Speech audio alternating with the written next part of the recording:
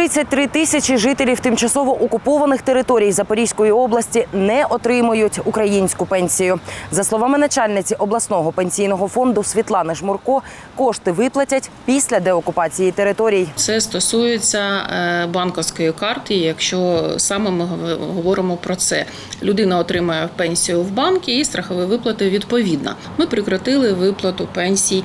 Тим нашим особам, які е, все ж таки отримали на поштових відділеннях. Також, за словами Світлани Жмурко, з 1 квітня у Запоріжжі та області зросла пенсія. Це пов'язано зі збільшенням мінімальної зарплати, яка на сьогодні становить 8 тисяч гривень.